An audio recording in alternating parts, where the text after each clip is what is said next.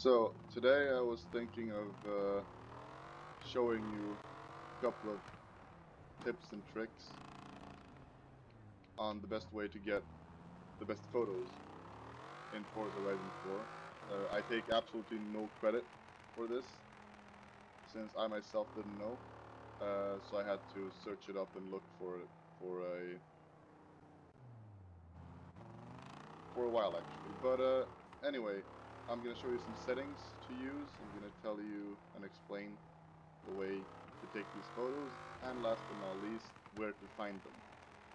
I'm on the PC right now, and photos do not save for me to my PC.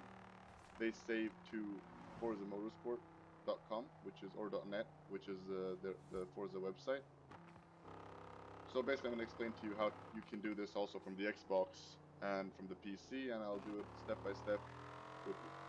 So the first thing we're to do is we're to get this car into a drift over here. And we're to press the D-pad up.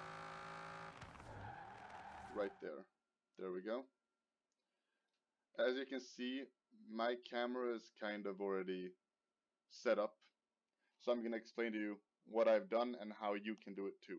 So basically the first thing you need to do is go and press Y, which is effects. You need to put shutter speed on 35, focus on 0, exposure on 53, aperture on 13, contrast on 50, color 50, brightness 50, sepia, uh, sepia 0, I'm sorry if I'm butchering some of these, uh, or Vigente, or on 18.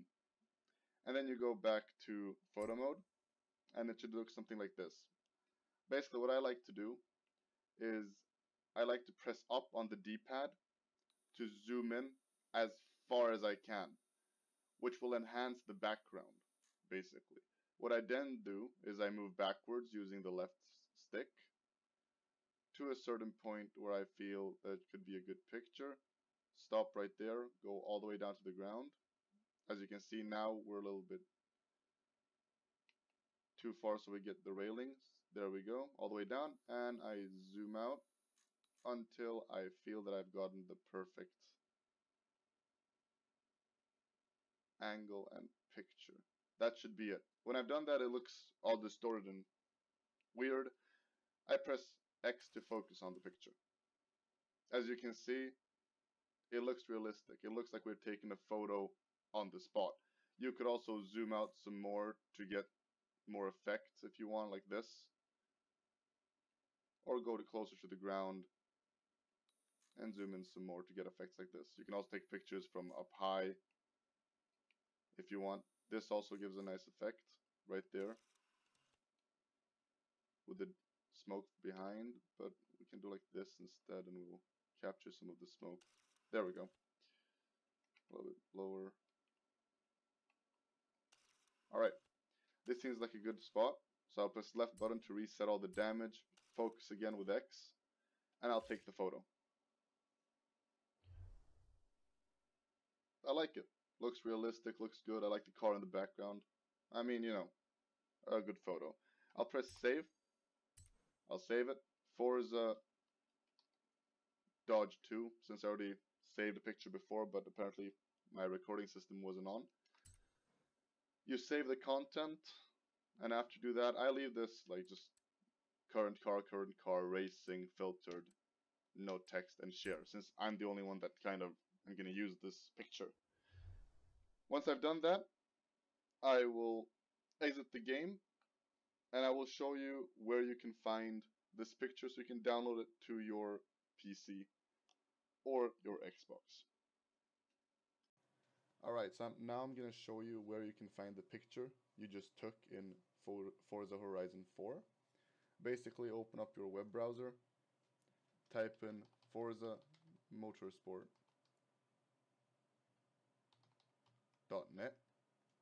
Hit enter. Once you come here, you're gonna have to log in using your live Xbox Live account.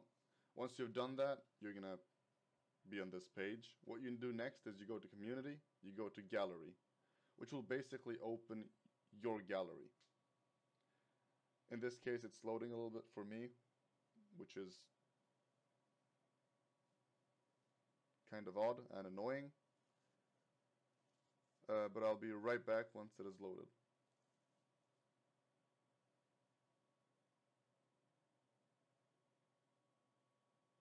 Alright, I apologize for that short cut. The, the reason was it was loading for about two minutes. It seemed like my internet cut off. But here we go. You have all the photos you've taken thus far. Uh, and here we have the photo we just took. So basically what you want to do is you want to press on the picture.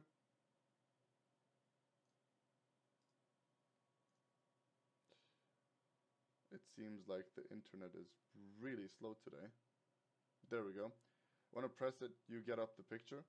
You right click it, save, call it Dodge Viper, and save it. And there you go, that's the simplest way to do it. You have the picture right there, you open it up, and there you go. So if you want, you can share some of your pictures by sending me links to your pictures. If this helped you, please leave a like. Uh, I do not take full credit for these settings, but uh, I got a friend of mine to explain it to me to help me a little bit with it. And I wanted to share it with you so you could get better pictures. Uh, I mean, I have uh, taken better pictures than the one I've just taken with you, but um, it happens sometimes that you're not able to get that perfect picture. For example, uh, we have two pictures right here.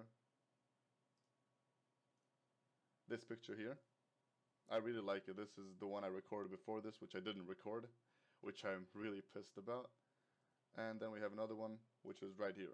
And these pictures do look really realistic and good. It all depends on where you place the camera, how you place the camera, and so on. But yeah, I hope you enjoyed, and I hope this helped you, and I will see you in the next video. Peace.